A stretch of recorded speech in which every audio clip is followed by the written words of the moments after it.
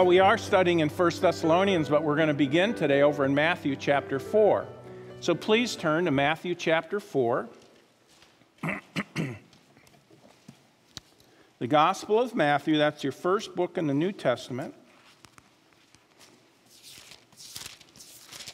And if you didn't bring a Bible today, we will be projecting the verses up on the screen so you can watch that or see the scriptures there. You know, it's, it's, uh, and of course, people can do what they want. We believe in the autonomy of the local church, but there are still churches who uh, think that if you project verses, you're going liberal.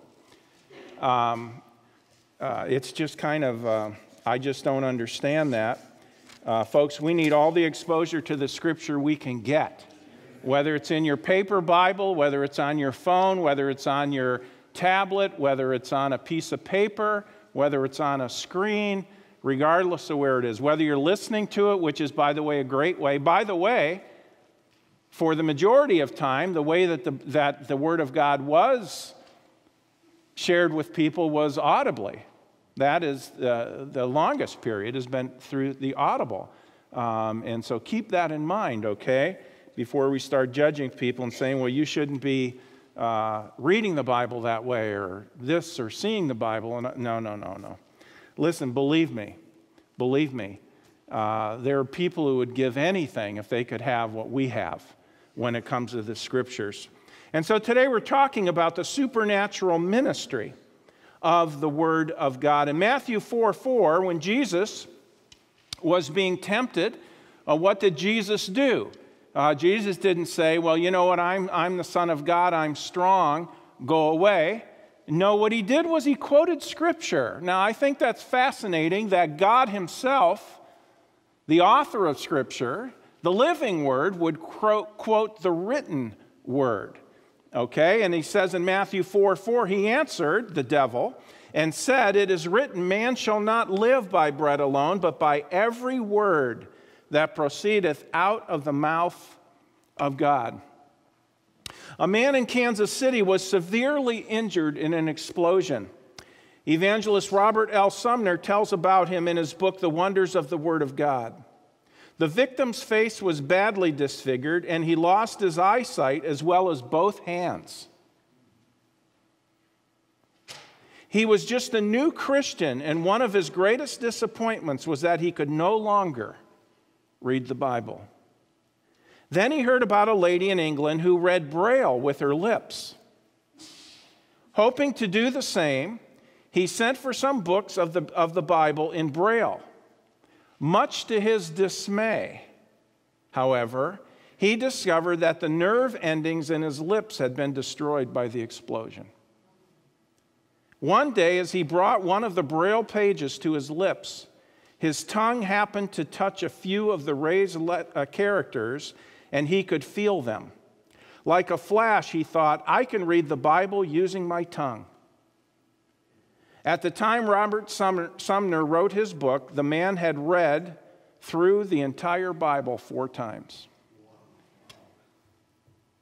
How much of a commitment do we have to the Word of God? Here's a man who did, went to unbelievable uh, labor to get the scriptures and to bring them in. And then uh, we see going and opening the Bible and reading it sometimes, we see it as a chore, or, or Christians complain about, well, do I have to read the Bible? Uh, friends, I'll tell you, when we have that mentality, it shows how far away from God's way we really are. I want you to go over to 1 Thessalonians chapter 2 as we pick up our study here in 1 Thessalonians. I have a statement to make, and I want you to think about it because on the surface it may not seem true with all the Bible apps, with all the talk about reading plans today, and all of that that is out there. The truth of it is, folks, the statistics tell us something far different than what we're saying. You see, there's, at this point, there's, there's plenty of exposure today to the Word of God, contrary to popular belief. We have more access to it than we've ever had before. The problem, though, is this it isn't access to the Word of God in America. The problem is do we believe it's the Word of God in America? There's a big difference between the two. Now, there are people who say, oh, yes, I believe the Bible's the Word of God. But yet, at the same time, when we come upon the hard parts of Scripture, the, the parts of Scripture that challenge us, convict us to change for one reason or another, then all of a sudden we go somewhere else besides the Bible to end up making the final decisions about those issues of life.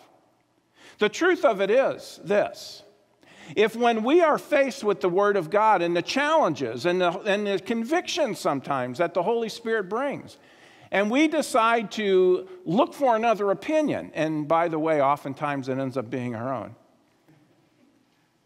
we've strayed. As a matter of fact, there's a very strong word for that in the Bible. It's called apostasy. To leave the truth, to stray away from the truth. Okay? A major problem today in the church is that many no longer truly believe the Bible is the Word of God. And by the way, that explains why, what is it, 75 to 80 percent of young people today, once they graduate from high school and go to college, they never go back to church. Wait a minute. You were raised in a Bible believing church. You were raised in a Christian home. You went to a Christian school. What happened? I'll tell you what happened. You don't believe the Bible's the Word of God. The truth of it is, there was a point before you ever left that you decided that you weren't sure that it was. And you know what, folks? It can happen to us. And I'm talking about those of us who are in church today. In other words, they don't respect the Bible as such. They do not believe that it is the final authority for faith and practice, even though we can say that over and over. Oh, yes, I believe the Bible is my final authority for faith and practice. Is it? Is it? Is that where we go when we're faced with the difficult decisions of life? What about creation? People say, well, I don't, I'm, I'm walk, there are a lot of people. I'm walking away from the Bible and no longer believe it because I can't believe in creation. I believe in evolution. I don't believe in creation any longer. Uh, wait a minute. You've just forsaken. Friend, let me tell you something. If you believe in evolution, you don't believe in creation, you have not done your homework. You don't know what you're talking about. Um, the evidence is so clearly, and it's right in front of us, it's, it's right in our face why creation is, in fact, the way the world came into existence. And by the way, if creation is true, then evolution is not true. There is no such thing as theistic evolution. That's not what it says. Well, you do you really believe that the Bible was created in six days? Yes. Well, you don't really believe 24 hour periods, do you? Yes. Read Exodus 20. It solves it, it answers it. God put it down, and you can put your pen down, you can bank on it. Six literal days. Well, I can't believe that. Wait a minute, why not? You must have a really little puny God. You know what? My God could have made it in six seconds. He could have done it all in one second if he wanted, because that's the God of the Bible. He's omnipotent, all powerful.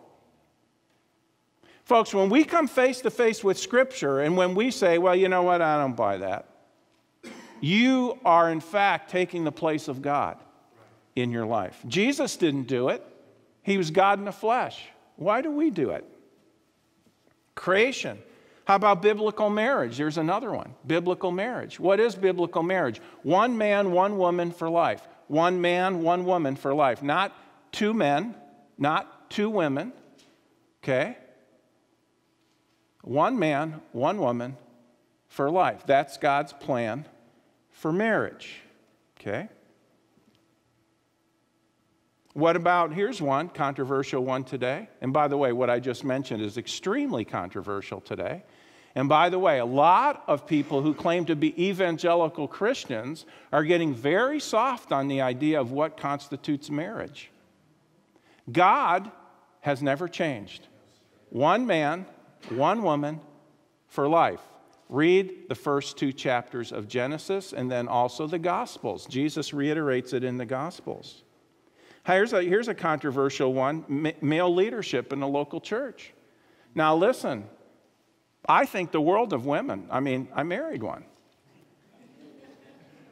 But listen, women are tremendous asset to the local church, but not in the pulpit. Say, well, you know, that's an old idea. And then we say, no, do you believe the Word of God?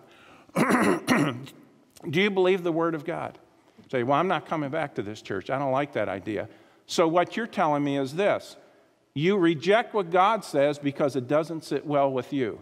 Do you see the problem in that, dear friend? You are making yourself God. Now,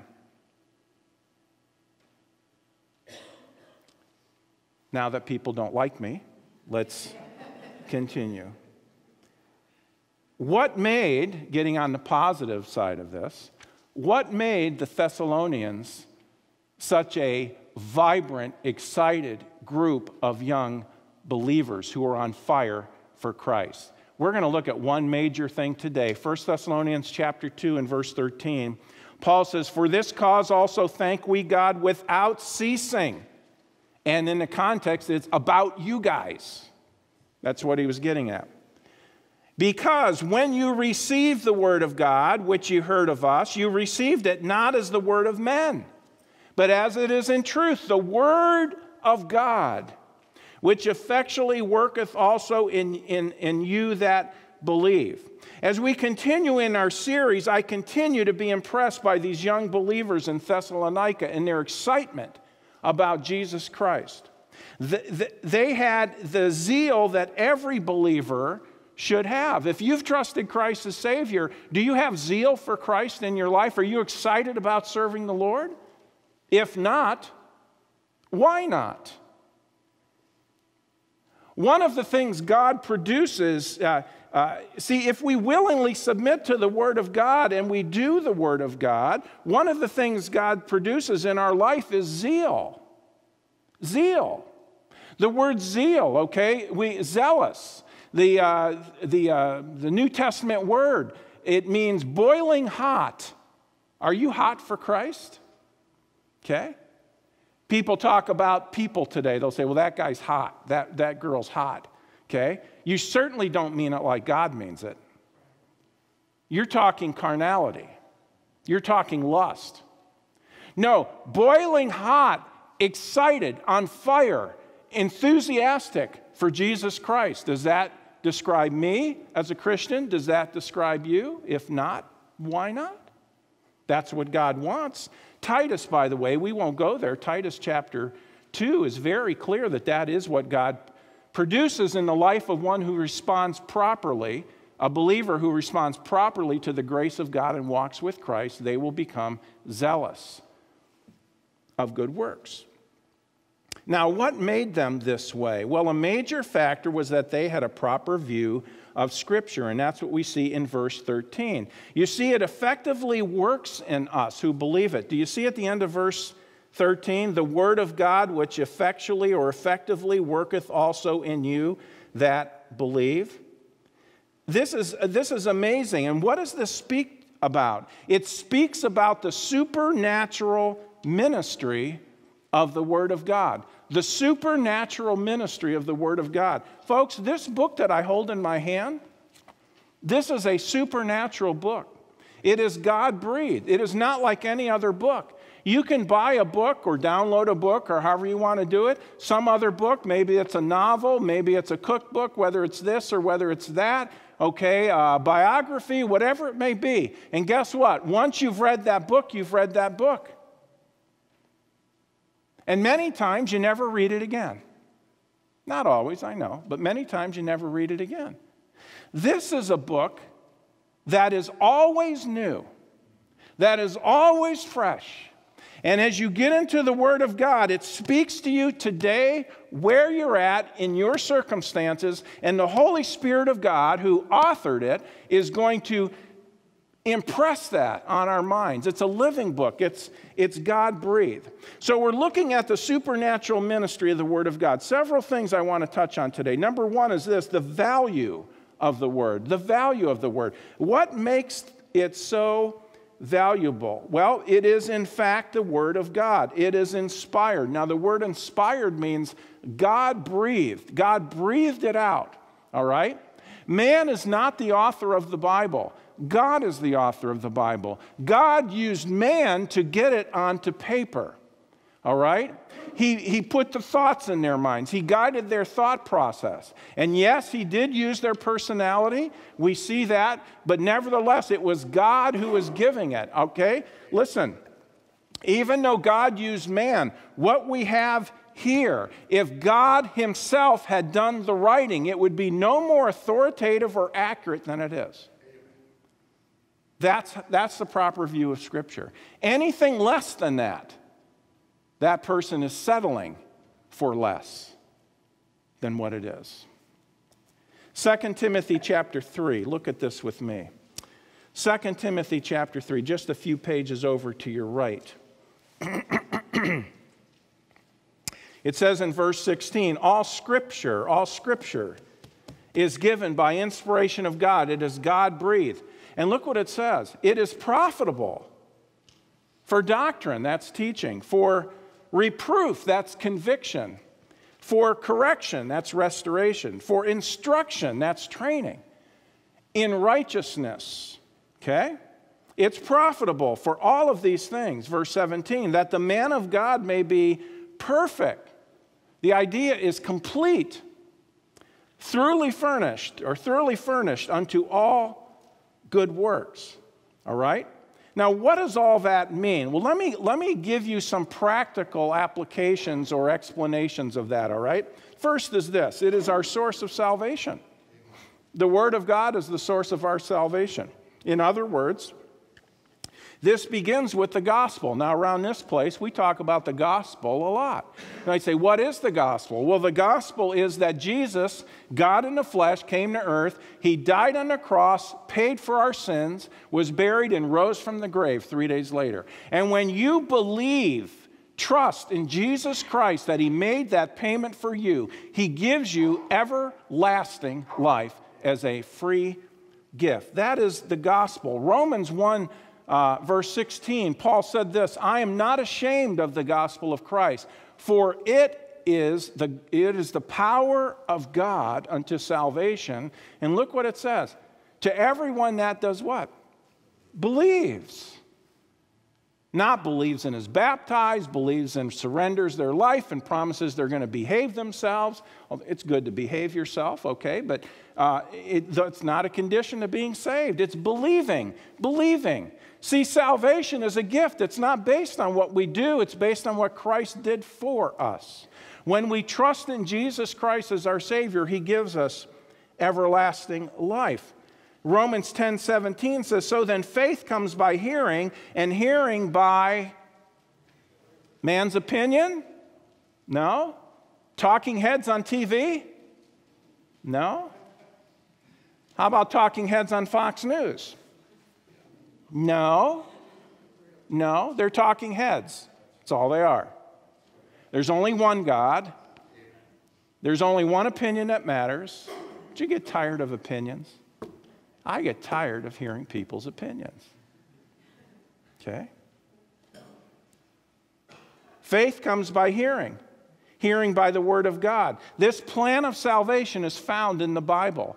And it's in the Bible when we find it and we read it and we understand it and we believe it. God gives us that moment everlasting life. We are born into the family of God. If you're visiting with us today, I want you to understand this. Let me explain it, this gospel, very clearly to you. Pay close attention, please. Okay? I'm going to let this hand represent you and me. We're going to take this wallet, it says on here sin. Somebody asked me, oh, was it last week or the week before? Does that wallet, and I get it because you're a ways off, does that wallet, does it actually say, does it say sin on it? I said, yes, it does. Yes, it does. Some man was so impressed with the hand gesture. I believe he was in New Mexico, if I'm not mistaken. He was the father of someone who used to come to our church. and this, this uh, young, young dad explained the gospel with the wallet. And the guy liked it so much, he said, I'm going to I'm going to make him a wallet with sin on it, and I'm going to send it to him. And so they sent it to me in the mail. So I've been using it ever since.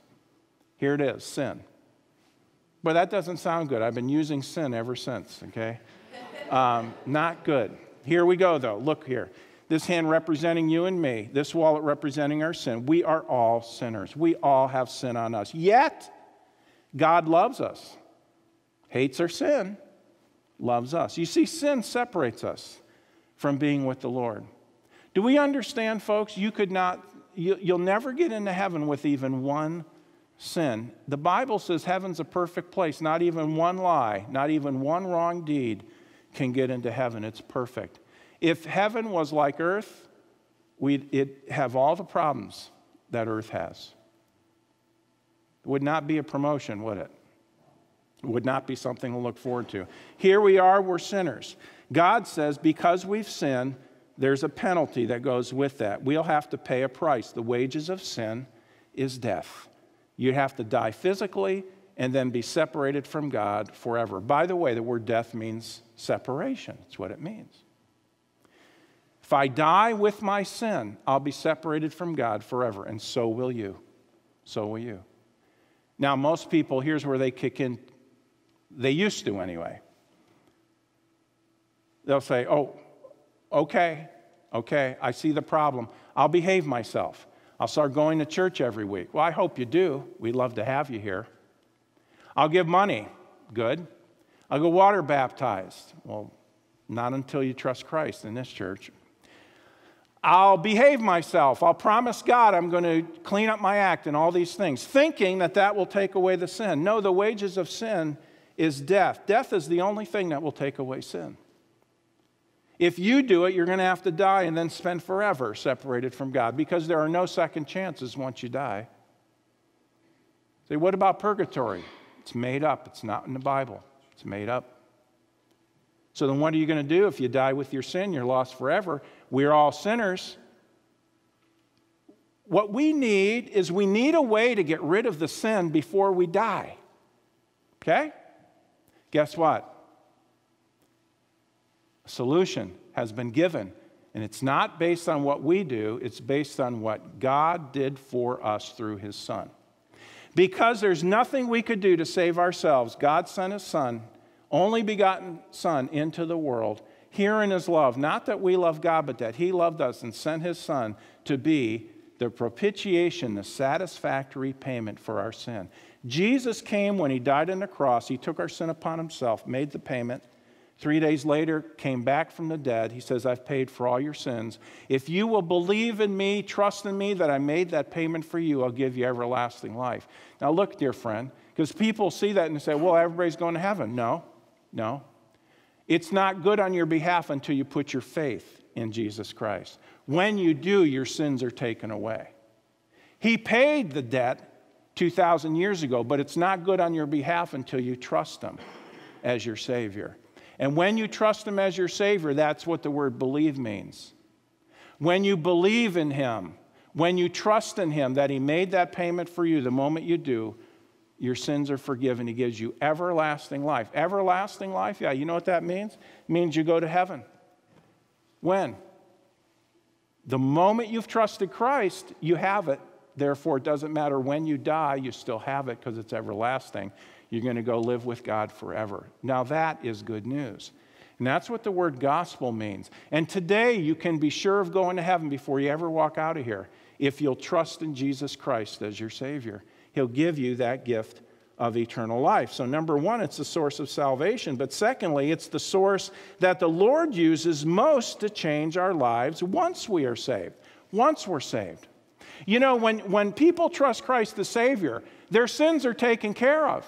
They go to heaven. You can't be lost once you're saved because there's no sin to send you to hell. Jesus took care of it all.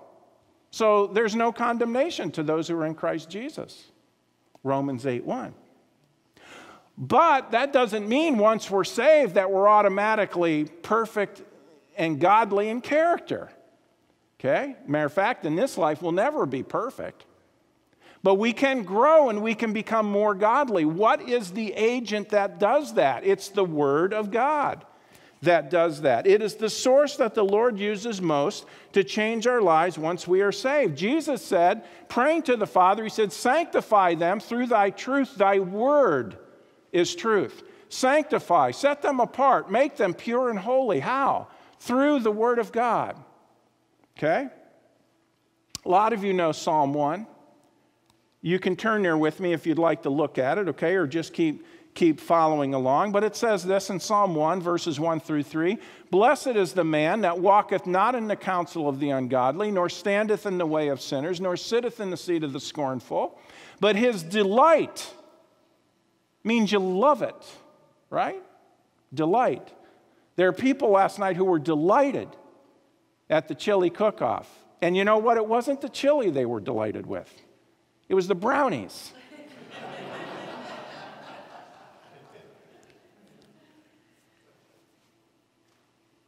Their delight is in the brownies of the bakers at church. And in those brownies, they indulge day and night.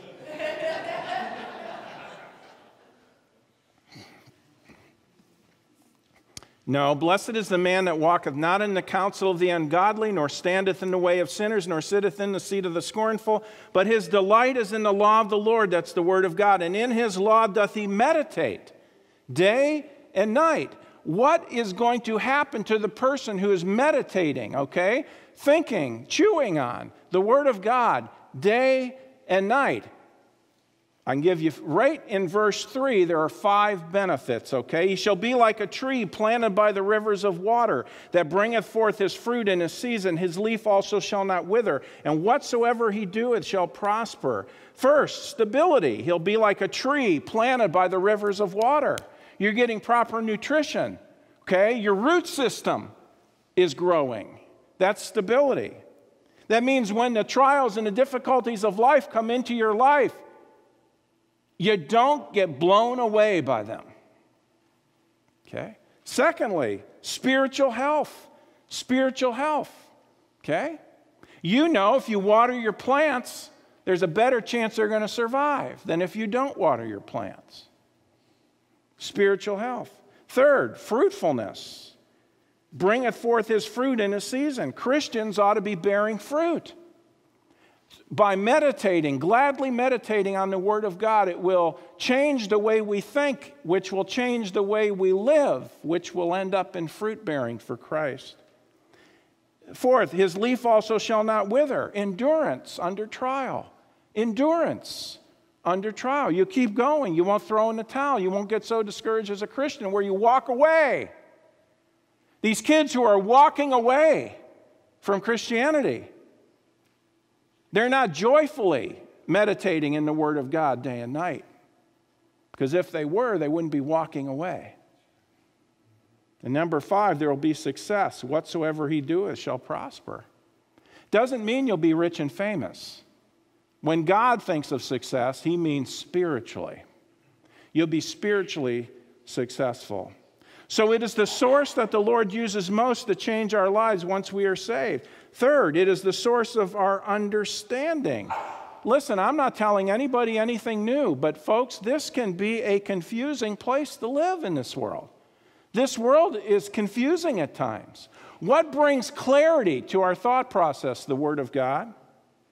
Psalm 119, verse 130, it says, The entrance of thy word giveth light, it giveth understanding unto the simple. You want to understand the world? You say, I don't know why people don't just love each other. Why can't we just, you know, I want a bumper sticker that says coexist. Why can't people just coexist? Okay? Imagine. My favorite song is John Lennon's Imagine song. Yeah, you are imagining. You don't understand what the problem is. We can't coexist because we're sinners who reject the truth of God. That's why we can't coexist. If we were all, if we've all trusted Christ the Savior and we were walking with the Lord, okay, and we were tuned to the same instrument, which is God and His Word, we could coexist really well. There'd be harmony. Well, I'm not interested in that. You see where man is? He creates his own problems. A teacher was handed on Tuesday morning. A teacher was handed the following note by one of her students Dear teacher, please excuse Harriet for missing school yesterday. We forgot to get the Sunday paper off the porch, and when we found it on Monday, we thought it was Sunday. Confused. A lot of people are confused, aren't they? Fourth, it is our source of growth. 1 Peter 2 2 says, As newborn babes, desire the sincere, the undefiled, the pure milk of the word that you may grow thereby. The taking in and the application of the word of God produces spiritual growth. Can I tell you, folks, there are many churches today who have a lot of gray headed babies in them. People who got saved who never really grew the way they should. And they're still spiritual babies, even though chronologically or, or age wise they're older. Maybe you're middle age. Maybe it's the same thing with you. So we see first, we see the value of the word, but secondly, and this is an interesting word, we see the weaponry of the word. What is that referring to? There's a spiritual battle going on, okay? We are either building or battling in our lives. We have to do both. We need to build and we also need to battle. The Bible is our tool and our weapon. You would not go into battle if you were not properly armed, okay? The Bible is referred to in Scripture as the sword of the Spirit the word of God. Ephesians 6:17, take the helmet of salvation and the sword of the spirit, which is the word of God. We need the word of God. It is our tool. When Jesus was doing battle with the devil, what did he do? He quoted scripture to him. That's the weapon. Even God himself when he was here used it. The weaponry of the word. And can I tell you the spiritual battle? The Thessalonians were in a spiritual battle even though they were new believers, relatively speaking. They were engaged. Why? Because they were sharing the gospel. And if you share the gospel, you end up being on the front lines. And if you're on the front lines, you're the first ones to get shot at. Look back to 1 Thessalonians chapter 2. Let's go back there. It says in verse 14, For ye, brethren, became followers of the churches of God which in Judea are in Christ Jesus, for ye also have suffered like things of your own countrymen, even as they have of the Jews. Okay? The Jews meaning the Jews who rejected Jesus Christ as Savior, who were trying to do away with believers and try to discredit their message. Now, I find it interesting, verse 14 For ye, brethren, became followers of the churches of God. The word followers means imitators. Okay? Now, how was it that the Thessalonians were imitating? Was it that they didn't care about Scripture? No, we see in verse 13 it was paramount in their lives. They were following the other churches, and that as the other churches were following Christ, following the Word of God, they too were doing that. And therefore, they were imitating the other churches in those good qualities even as they have of the Jews, verse 15, who both killed the Lord Jesus and their own prophets and have persecuted us. And they please not God and are contrary to all men. And verse 16 is a very interesting truth. Forbidding us to speak to the Gentiles that they might be saved, to fill up their sins always. For the wrath is come upon them to the uttermost. I find that an interesting phrase, forbidding us to speak. Okay? Question. Ponder this. Are we so faithful that someone has to forbid us to speak? Yikes. Or is the truth of it, most people don't even know we're saved? Boy, that's a miserable testimony, isn't it? See, these people, they were so faithful. We saw that in chapter one, by the way. They were so faithful that the, the false teachers had to forbid them, threaten them. If you speak up for Christ, we're going to persecute you. Is that you and me? Do we go through any of that in our own lives? By the way, it's happening, as was mentioned earlier, it's happening all over the world. Yes, persecution is getting greater in the United States, but it's nothing compared to what's going on. And by the way, China is really, it's the persecution in China is really stepped up, as well as places like India and some of these other third world countries. Folks, days are going to get tougher, they're not going to get easier. Verse 17, but we, brethren, being taken from you for a short time in presence, not in heart, endeavoring the more abundantly to see your face with great desire, wherefore we would have come to you, I, or even I, Paul, once again, interesting phrase, but Satan hindered us. How did Satan hinder them? Okay? There could be a lot of ways. One of the ways in the context, very clearly, using false religious people to persecute them. Those were tools in the hands of Satan. You see, let me mention this. If you, you know somebody who is hostile towards the gospel, hostile towards Christianity, now, I'm not saying they, they are not responsible for their hostility because they are. But we also need to understand this. As we look at that person who is anti Christian, anti Bible, etc., etc., mocks us, makes fun of us, ridicules us, maybe it's prejudice against us for one thing or another. As we look at that situation, understand this to a point, folks, they're not the enemy, they're victims of the enemy. A lot of them don't even know what they're doing, such as, remember the, the, the uh, testimony of the Apostle Paul. He thought he was doing God's work in persecuting Christians and having them stoned to death. He thought he was doing the work of God. He took great pleasure, the Bible says, in the stoning of Stephen until he understood who Jesus was and he trusted Christ as a Savior. And what, what did he do? He flipped sides, is what he did. See, this proper mindset, okay, of being faithful with the gospel, living for Christ, this proper mindset brings with it persecution. You see, if we allow the Word of God to direct our lives, we will often be living in contradiction to the world system.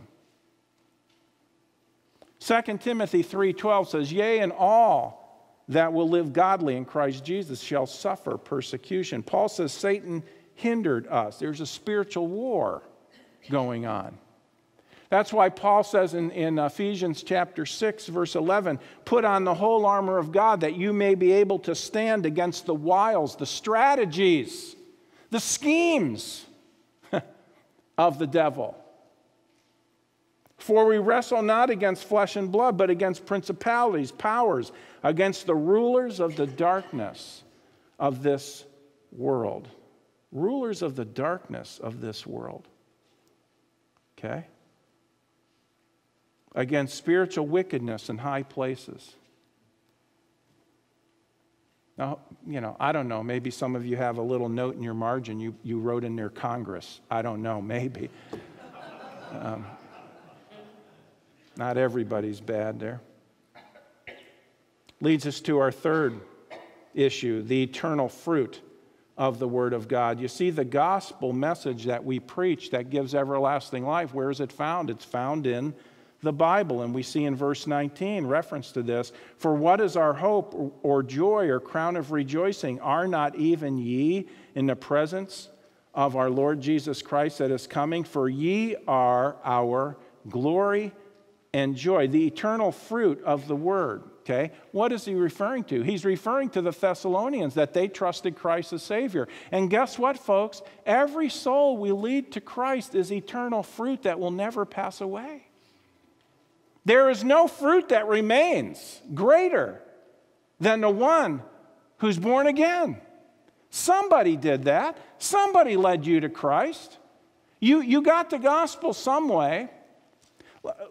Let, let me show you this. Hold your place here. Look with me to John chapter 15. John chapter 15.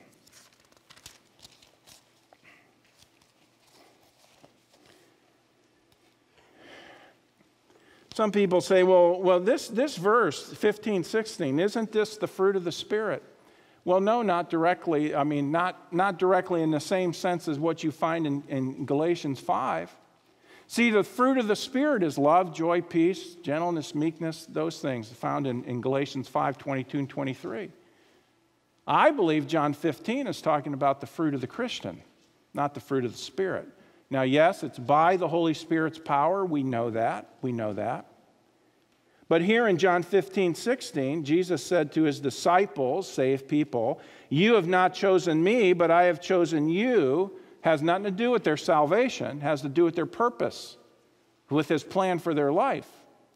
You have not chosen me, but I have chosen you and ordained you that you should go and bring forth fruit, and that your fruit should remain that whatsoever you shall ask of the Father in my name, he may give it you. Your fruit shall remain. Let me ask you this Is there any greater guarantee that our fruit will remain if our fruit is other believers? People we've led to Christ. Once they trust Christ, they have everlasting life. They're going to remain forever. See, we need to have utmost confidence to what the Word of God is and what the Word of God can accomplish in people's lives. Think about this. If you're saved, think about this. What are you doing with your life? What's the purpose? What are you accomplishing for Christ? Here you go. The only thing in this world you can take to heaven is other people you've won to Christ.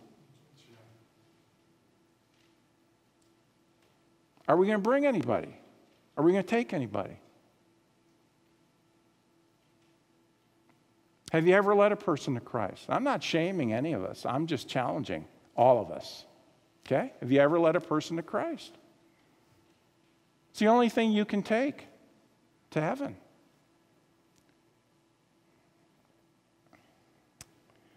Proverbs, that's why Proverbs 11:30 says, "The fruit of the righteous is a tree of life, and he that winneth souls is wise. He that winneth souls is wise. And guess what? There's not a Christian who's ever lived who cannot lead another soul to Christ.